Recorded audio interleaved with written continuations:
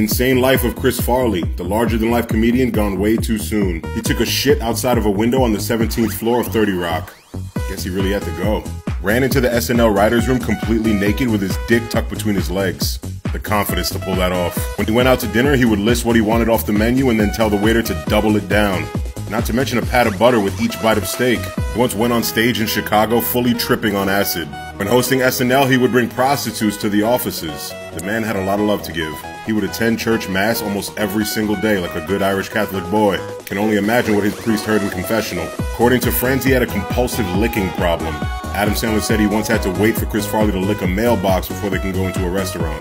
Between 1991 and 1997, he went to rehab 17 times. Say what you want, but everyone who knew him loved him. Sleep in peace, King.